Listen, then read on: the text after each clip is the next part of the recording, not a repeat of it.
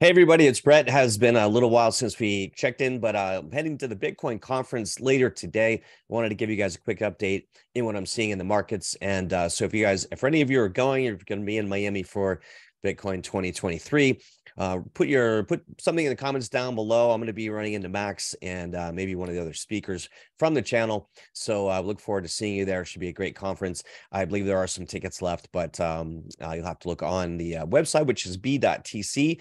And I um, want to dive into some news here and show you what I'm seeing in the charts and uh, give you an idea what to expect here in the markets as we head forward. And so uh, just to dive into anything or dive into everything rather, uh, this is some news that I was looking at this morning. And um, I want to give you my overall macro view in a, in a, minute, but I do like to skim the news, kind of see where things are at and uh, what people are saying, just get an overall view of things. I trust what I see in the charts, but I like to uh, just have an overall frame around things. So uh, here's some interesting news here about Tether. Tether pledging to plow 15% of its profits into Bitcoin. Uh, so that's profits, though. That doesn't mean their entire money that they have on the side. But uh, let's see, uh, they're but they're pledging to add 1.5 billion of the cryptocurrency. So that's bullish. And so um, we'll have to keep an eye on that and uh, keep an eye on the price, see if that follows. The markets are down today. So let's see if we can unravel why let's see here we have something uh, saying that, that one of the uh, greatest bitcoin metrics of bitcoin's price bull run is showing i've been saying that for two months now when our monthly indicators uh, were showing that three months ago actually so we'll show pull that up uh, this indicator here i'm not that familiar with this looks like it's on glassnode and it's called the rhodl ratio and without diving into what that is it uh, has something to do with hodling, obviously. And so this green zone down below, maybe we can open that up here, is what they're saying is we're in that zone. We're coming out of that zone. And that's kind of similar to what uh, I've been showing on our monthly chart as well. So just moving along as I want to get to the good stuff.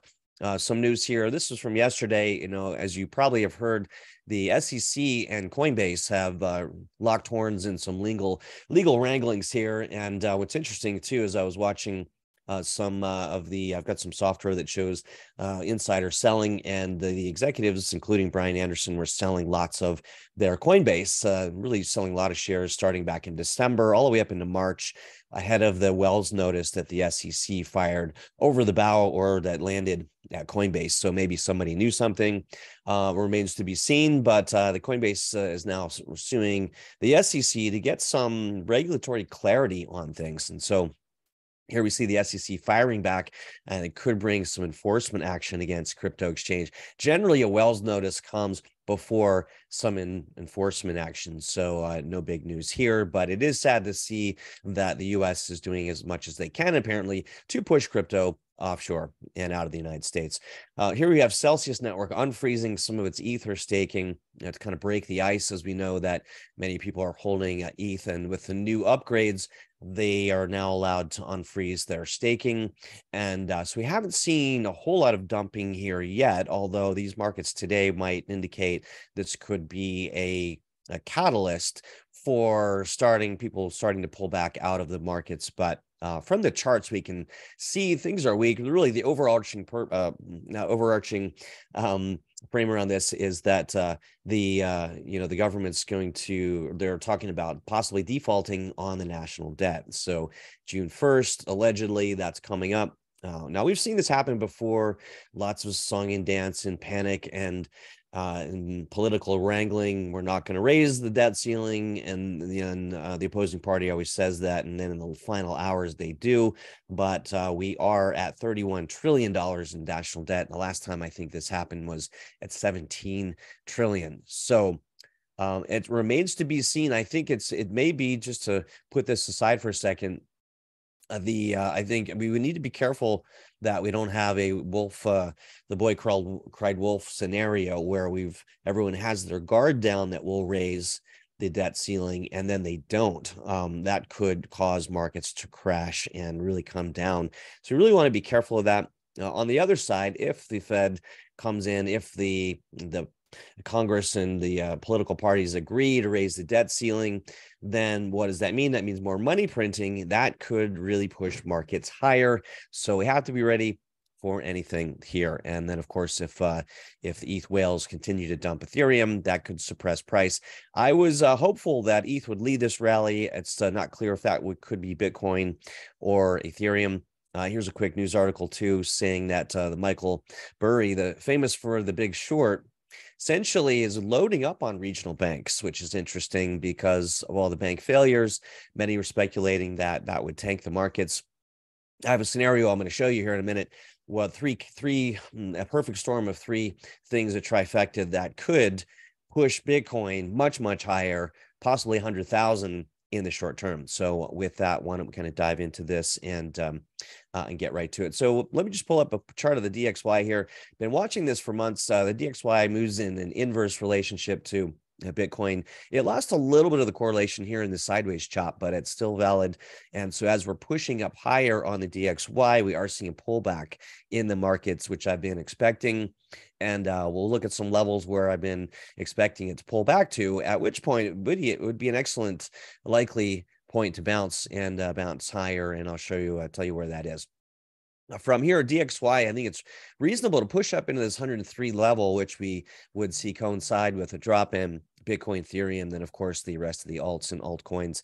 And uh, at which point, though, potentially this isn't necessarily drawn out to scale, but toward the end of May, turning over. And I have been suggesting this that May would be a down month and we've had four months of green candles in Bitcoin. So really needed to see a pullback. So I think we continued lower in May. And then going into June, July, we see this, the DXY drop off and uh, the markets really start to rally. So that's uh, my thesis here. And uh, if you'd like to follow that, uh, I've got it. Uh, I've got it up on TradingView somewhere.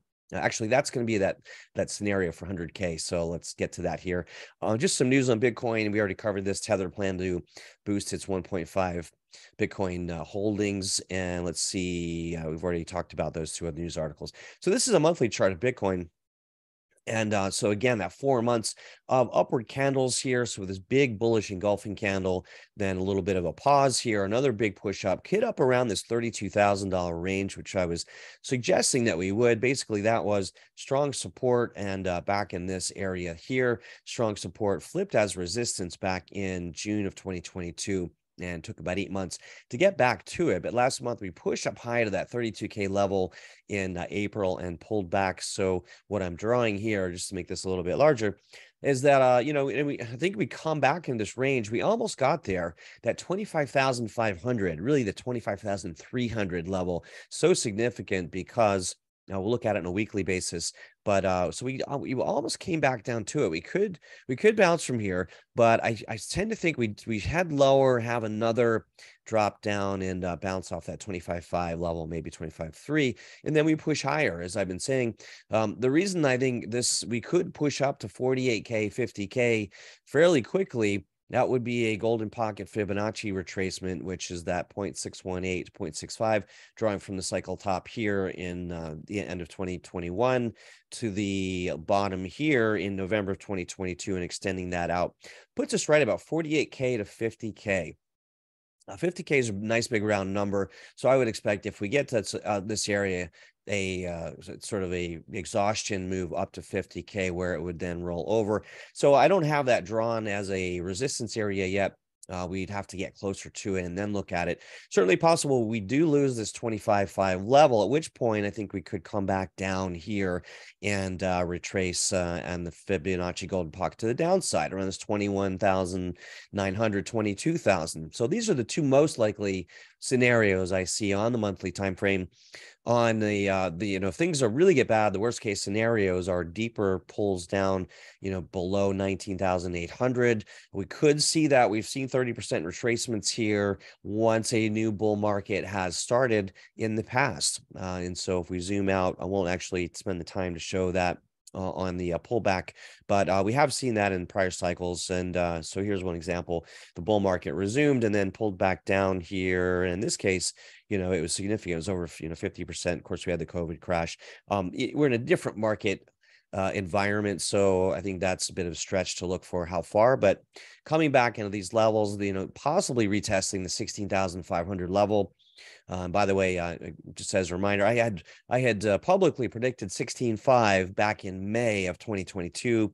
It's on my Facebook. It's uh, publicly predicted that that we'd push up to 32k and then down to 16.5 eventually.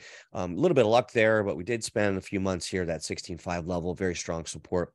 I do imagine that would hold uh, the hash ribbon indicator has been firing. Generally, that means uh, it's a minor um, accumulation indicator. Generally, that means we don't we do not go back below the recent cycle low. Now, it has failed in the past in this re- recent cycle back in here, so it's not as as reliable as it once was. But still, I have these scenarios drawn, and then uh, of course, if we do break the 16500 level, I think we still could see the $14,000 price level that I was talking about last year.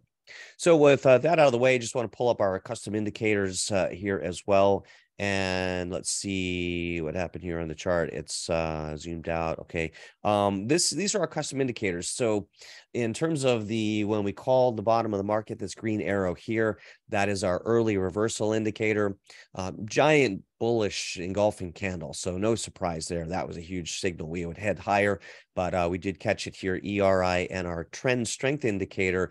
The only times those have fired in the past on the monthly time frame were after the market cycle bottom back here in 2015 uh, even back to 2012 here we had our bullish or sorry the uh, our early reversal indicator here here here in uh, 2019 along with our trend strength indicator going green and breaking above that all important 20 line. So we are seeing that. We've seen that a couple months ago. I wasn't sure if we'd see a minor pullback, but we just shot up higher. The third indicator is our signal indicator, which is our third line, which is going green. Uh, and by the way, if you'd like uh, more information on these indicators and want to use them in your trading, you can go to uh, moonstream.io slash success. And that's with permission uh, from Max there. So that's moonstream.io slash success. You can learn more about that uh, if you'd like on these indicators. That's really what we use, utilize. Uh, one of my business partners is a quant engineer and a trader and a programmer and professional uh, algorithm builder, etc. So uh, you can check that out, moonstream.io slash success. And uh, look forward to seeing Max this week, by the way. Maybe, maybe we'll do a, a uh, live video uh, and upload it to you guys. That would be fun. Here's Bitcoin on a weekly basis. So um, a couple things here. We have a potential head and shoulders pattern forming. So very important that we hold in this level. This purple line, of course, is a 200 week moving average, all important support level that's held at key support levels in the past, going back to 2018 and of course the COVID crash. So we did break below that here in the last cycle. Uh, sorry, guys, I'm going fast because I got a flight to catch. Uh, and only kill the camera too. You don't need to see me, but I'll just give you a quick wave. And uh, next time you see us might be from uh, the Bitcoin conference down in Miami. So here we go. Uh, so in terms of this, we want to see this hold here, the 200 moving average. If it can hold and and hold this 25.5 level, then I would again be looking for that bounce and push higher and retest that 32,000 range. If we can't hold there and we break down here, um, and we have the head and shoulders form, we want to we want to watch for a weekly hold above the 200 week moving average, as I say here, that purple line. If it breaks down in this range and then bounces around and we lose that that level around 22,000, uh, that would be a head and shoulders breakdown, and that would could send us down. The measured move here around around 15,200, maybe retest the lows uh, back in November. So these are some levels that we're watching and paying attention to. A, a bit overbought. I am bearish in the short term. Our trend strength indicator breaking down below the 80 line. So I'm looking for further downside. Really want to see the strongest moves come after a green break uh, on the upside on this TSI indicator. So I am expecting us to come down a bit before we go higher. Uh, RSI is still kind of an uptrend here, but um, uh, you know, again, we have sort of a head and shoulders type of pattern potentially forming. You know, we are still heading down lower in the stochastics RSI, which I was suggesting back here, because every time we double tap that high level, this does pull back and does fully cycles down low. So we do have, I believe, more downside in Bitcoin on the weekly time frame. Uh, here's that uh, trading view. You can find this uh, on Trading View uh, if you search for uh, my name, Brett Fogle, and um, uh, but this is my scenario where we could see Bitcoin hundred thousand possibly in the near term within this year, and uh, you can we'll find that and hit click play, and it'll show you. So far, I've been right; it's gone down. Now this is a fractal overlay. Let me just jump over to the actual chart. This is a fractal overlay of what happened back in this uh, prior cycle. I'm not sure what I clicked there, right here. Let's try this again. And uh, so this uh, this highlighted area, this the uh, bars pattern here is this exact move here, stretched to fit a little bit. So the things that could move Bitcoin to past 50,000 and up to 100K, and uh, and then from there we'll have to see. But the three things, the perfect storm would be the hyperinflation and de-dollarization of the dollar. Now we're hearing the BRICS nations uh, creating their own currencies. Uh, they're not using the dollar to settle their uh, oil and gas uh, purchases. That's happening. That is, of course, uh, Brazil, Russia, India, China, and S is um, is it South Korea? It's one of these, but there's more countries that are that are joining the BRICS nations. Uh, I'm drawing a blank on that, but it doesn't matter. What, what that would mean, though, is less dollars, less demand for dollars, more dollars coming back to the U.S causing some hyperinflation. The second factor would be the QE money printing to pay down the US debt, which I talked about. If they do, there was some talk of printing in the trillion dollar coin and uh, by the um, Fed and uh, and the uh, and holding that or using that to sort of pay down some of our debt, uh, that could also lead towards some of that hyperinflation. But of course, it also could lead to rampant rise in price because as we have QE, as we saw in the post-COVID environment, that really helped rally the markets. So I was watching a very interesting video by Bob Lucas this morning. Uh, he's a smart guy, and Mark was talking about uh, the potential. Has been talking about this for a while. Potential for the the Bitcoin parabola, the Bitcoin big move happening before the parabola, whereas usually the the halving it, it trades up into the halving and uh, and then and then sort of really takes off. And so, but he's saying that could happen sooner. It's too early to tell. But that third factor would be more bank failures and bank runs, and people pulling their money out of their banks and into gold and Bitcoin. Of course, those these three things could create the perfect storm for a rapid rise higher here on Bitcoin in this weekly basis. And that could happen as early as August, according to this uh, chart. Not likely, but it's possible. So, you know, uh, hey, if, if that happens, you guys owe me steak, steak dinner. How about that? Um, anyway, let's see. Let me just uh, kind of move along here and we'll look at some other things. Uh, this is the Bitcoin chart on the daily. Um, also seeing our indicators bearish on this daily chart. So we've got a, bearish re early reversal indicator and our trend strength indicator. Now our radar is all green. So that's interesting. These markets are acting a little bit strange right now. Uh, but the biggest thing that's bearish right now is also that Bitcoin is below the 50 day moving average and has been heading lower. So we've seen that reject here on the way down. Actually, I'm sorry, this is a 3x short. I thought that looked a little bit strange. Uh, and um, so forgive me there. That is a, a, possible trade. If you thought that uh, Bitcoin will held lower, this is a possible trade that you could monitor, not financial advice. But uh, in this case, getting some mixed signals, it would have to break above this 50 day moving average. If it can, that would be indicative of Bitcoin going lower and this thing kind of running higher. And these things, uh, these are available on KuCoin. Again, not financial advice, just a, a possibility, educational purposes only. And uh, some people like to trade the downside that way on the daily basis here. Uh, this is again where I think we'll pull back and again into this sort of 25,300 range. Why is that so significant? Uh, hides some of this, uh, the chart, so you can see that better. But um, going back in this range here, you know, we had 25.3. If we go even farther back, well, let's see. Mostly it was strong resistance back here in August of 2022. Came up again, rejected here in uh, February 23. Finally broke back above it. We haven't retested this, so we really need to come down and retest that 25,300 level and uh, and hold and push higher, and that would be bullish for Bitcoin. So uh, you know the other view of this is we are in a new uptrending trending uh, trade channel there. So you know this uh, we would want to see this kind of come down and retest that and then head higher. So you know, um, but again, there's that head and shoulders pattern potentially forming. So it's a good time to sit in the sidelines and watch. When in doubt, stay out. I always say, uh, here's another look at it on the head and shoulders that could be playing out. So, in terms of overall markets, uh, in the markets sort of stagnant right now. The only thing I wanted to show you was total market cap. So, let's pull this up and look at that on a larger time frame. And let's see, we get rid of this here. So essentially, total market cap has been in this upward trending time frame or trend channel as well. And uh, so it really needs to hold right here. Total market cap getting a bullish early reversal indicator.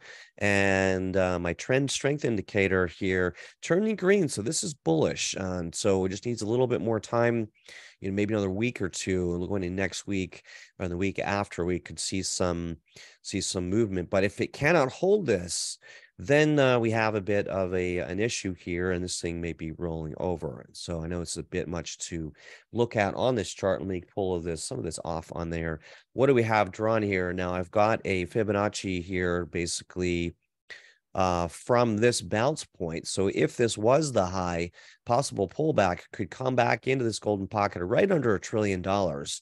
But uh, we want to don't want to see it get back in this downward trend channel, which it's been in since since the market cycle top back there in November, of course. So with that in mind, um, looking for a bounce here on on this uh, one of the things that is is a little concerning though i'll just jump back to eth as i've been watching eth dominance bitcoin um bitcoin dominance of course um, wrong chart there. So Bitcoin dominance still in an uptrend, hit some resistance here at these levels up around 49%, which has been a resistance area in the past. If it can break above it, however, on Bitcoin now uh, and come back and retest, then looks like Bitcoin will lead the market rally when it comes. The uh, problem with ETH and the reason I thought this might be it, I'll just zoom out a bit on the five day time frame uh, this uh, ETH dominance here, all the 2018 and 2020 was was reduced, was going down in a downward trend, and then it flipped back in November 2019 held the upper range of this trend channel. It's been going sideways ever since. And uh, I hate to keep widening this because it seems that it is even here. It seems like it's it's just it's breaking to the downside. ETH dominance just flatlining here, really for almost a year at this point. So uh, keeping an eye on that. But uh, other than that, not much to see in these markets here. Not much moving. You guys just mostly red. I do think we pull back and to continue to go lower on Bitcoin. I'll just pull up that weekly chart again. Uh, which one was that? And so, you know, there you have it. I think uh, we have some downside. I have some bullish on the trend strength indicator, but uh, I have been noticing some drawing these lines will be it could could roll back over again. And um, so, you know, uh, that's what we're waiting for. I think, you know, do we bounce here off this 25.5 level? Uh, you know, but this is a bullish engulfing candle on this weekly basis. So again, just to clean that up a bit, bullish engulfing candle on the weekly would also indicate some more downside. And uh, one of my other things that I learned a long time ago as a trader, large candles tend to retest the midpoint. Uh, some people call them vector candles, but um, I don't know this qualifies. This is a very bullish uh, candle here, uh, candlestick here. So I don't know. Do we come back down and retest this 25,300 level? Uh, which I've already have on this chart. I think it's it's likely, but um, so again, it's a good time to be out. But I think in the in the near term, once this thing bottoms out and settles out a bit, uh, we could see one more shakeout capitulation.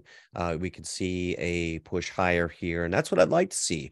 I see that strong rally up to 48K, 50K, and to me, that would be an opportune time to catch a nice swing trade up into this range. Where afterwards, though, I would I would expect to see profit taking, some retracement, and then decide is it going to break to the higher side of things. But uh, it does feel to me that the market the bottom is in. This is some normal selling pressure. You know, the news is going to be noise. News is noise. I just made that up, but um, uh, if you think about it, it largely that's true. I'm my uh, other students know me as saying, "Show me the charts, I'll tell you the." news. Usually that's the case. The news is basically uh, confirming or the catalyst what the charts are already telling us. So anyway, watch the DXY guys again. DXY pushing up, Bitcoin down, possibly for the next couple weeks into the end of May and uh, then I would expect to see things turn around. But new information equals new decision. Of course, the big news again is the Fed and what we're going to do with the debt ceiling so that's going to determine largely what happens from here. So uh, anyway, guys, thanks. Uh, and again, if you are going to be down in Miami for the Bitcoin conference, should be a great time. And uh, if you like the uh, content here today, be sure to hit like and subscribe, and uh, leave a like or comment below. And um, and uh, you know, if you'd like to see something from Max and I doing a video live, that could be fun. Okay, everybody, take care, and we'll try to do more updates here as things progress. Thanks so much.